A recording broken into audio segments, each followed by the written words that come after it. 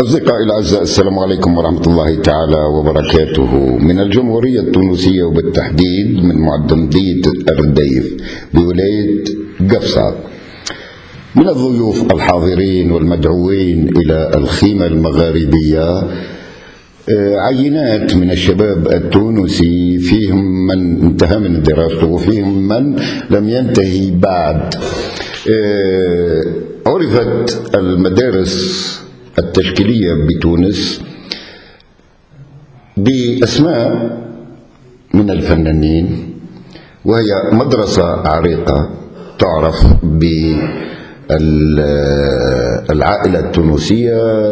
نبدأها من الجورجي عبد العزيز الجورجي المرحوم. فيه أسماء أخرى مثل تركي مثل شكون الآخرين سي الحبيب بيدا أي. سي ناصر بالشيخ أي. سي نور الدين الهاني نعم آه، سي درغالي سي نعم. سي وحيد العوي آه، سي سامي بن عامر نعم. سي عبد العزيز الحصايري عبد خليل كويعة سي خليل قويعة سي محمد اليانقي جميل مع الضيف أنور نصر وهو الذي كان يردد ويعدد أسماء ال- المعروفين الفنانين المعروفين التونسيين. يرافقه الضيف الثاني الفنان الواعد محمد الذهبي.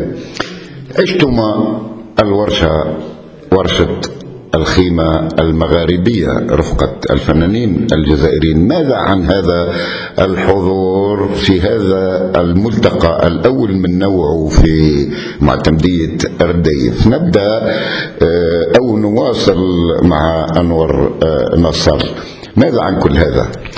أولا أود أن أرحب جل الترحاب وكبير الترحاب بأشقائنا وأخوتنا من الجزائر. نعم. حقيقة يعني آه، عانوا الأمرين في السفر وغاية الوصول إلى هذه الجهة جهة رديف جنوب جنوب تونسي يعني أقصى أقصى البلاد. نعم. حقيقة يعني آه، الذوق آه، العام في آه، أفرز تنوع كبير. نعم. من ضمنه أن آه، زيادة على المسرح زيادة على الموسيقى فما فما تعطش كبير. للفنون التشكيلية. جميل. وهو ما لاحظناه في المنطقة وبحضور الإخوة من الجزائر حقيقة يعني وقعت الإضافة. نشكرهم جل الشكر باعتبار اللي كل واحد منهم جاب التجربة متاعه وجاب تاريخه وجاب اسمه وجاء آه، بزاد وزواد كما نقولوا إحنا.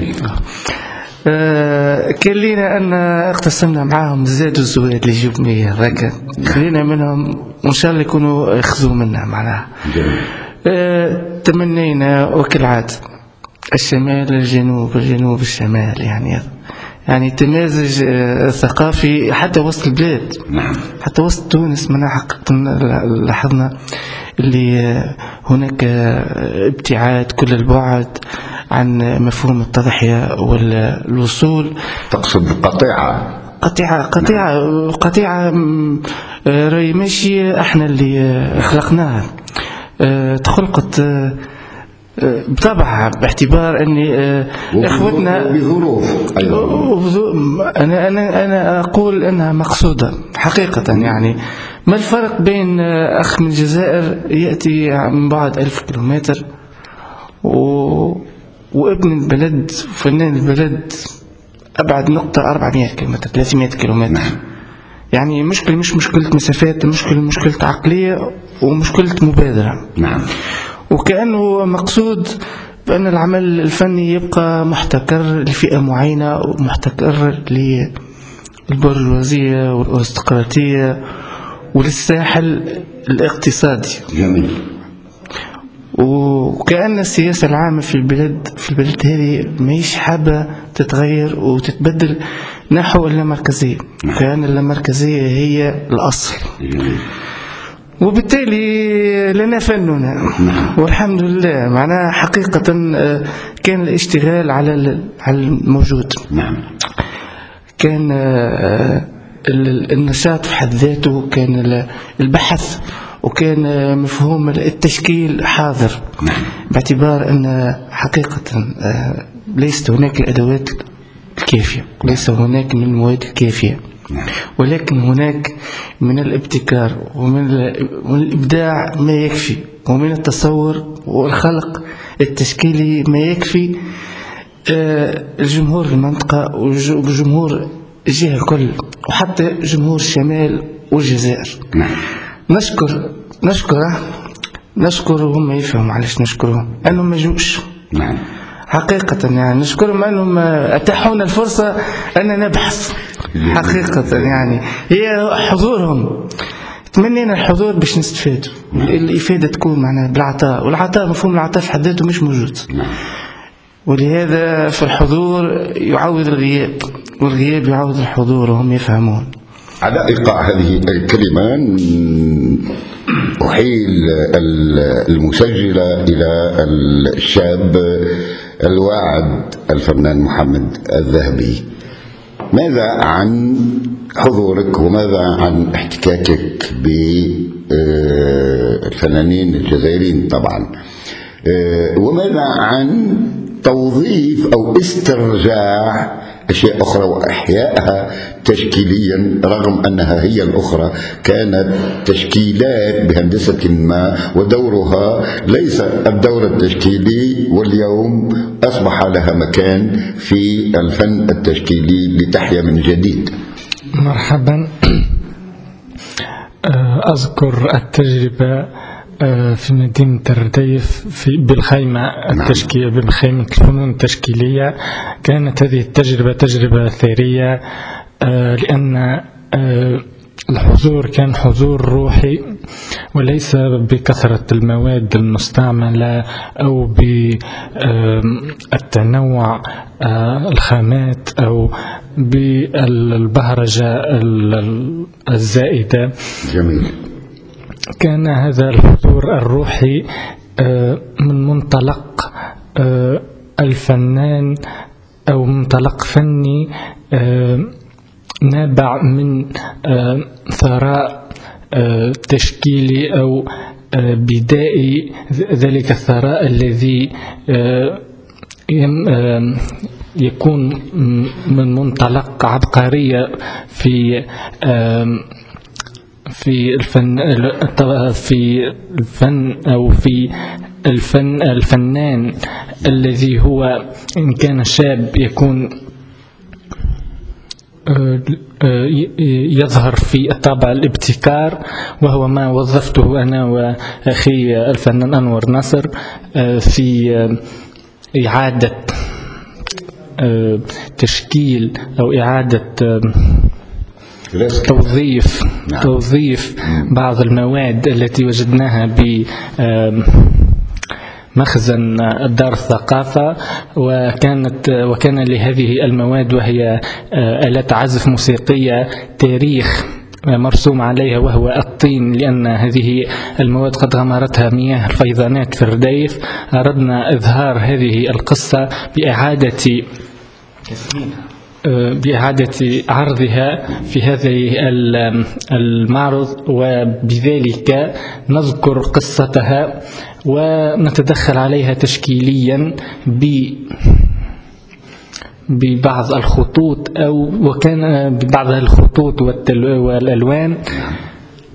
ووضعناها في شكل تنصيبة هذا يدخل في نطاق الفن المعاصر لكن دائما كان آه، آه، أو آه، غلب الطابع المغاربي برموزه وب تعبيراته التشكيلية آه، في تحت سقف هذه الخيمة التشكيلية.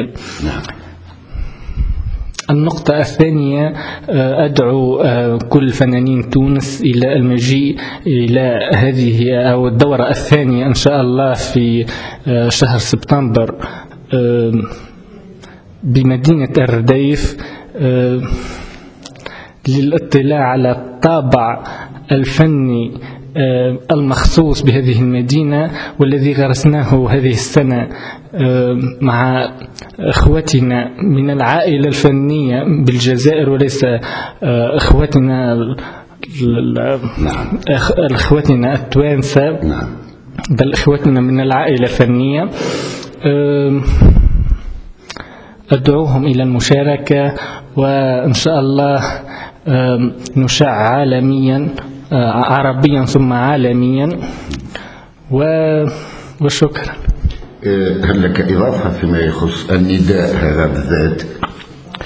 آه، بالطبع إحنا آه، رانا ماناش نتحاملوا على إخوتنا آه، نعم. الفنانين التشكيليين. إحنا عائلة واحدة في كل الحالات نعم.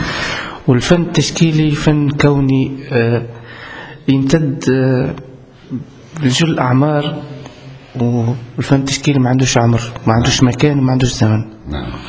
نحن يشرفنا جل الشرف أن نرى أعلام بلد موجودين نعم. جنب إلى جنب معنا نتعلم منهم. نعم. وناخذ منهم الكثير الكثير نعم. إحنا اللي آه، من اللي صغار تنحكيها بالعربية الدارجة. نعم. إحنا من اللي صغار تعلمنا عليهم. نحل عيني نتفرج في التلفزة نشوف آه، السي تركي. نشوف السي زبير السي حبيب. تمنينا نشوفوهم ونحكوا معاهم. تمنينا نولوا كيفهم. مشينا وقرينا وحبينا الفن. وترعرعنا في الشيء هذا. هم الحالنا متاعنا. في كل الحالات إحنا رانا قايمين وواقفين على رجلنا نعم.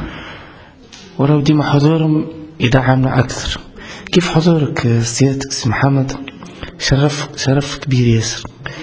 ما يكفيش التجربة الفنية اللي حضرت معاك أنت كنت الأب كنت الراعي كنت الساند لينا كنت الدافع اللي تفتح لنا الطريق نحو أفكار جديدة وبحوث جديدة.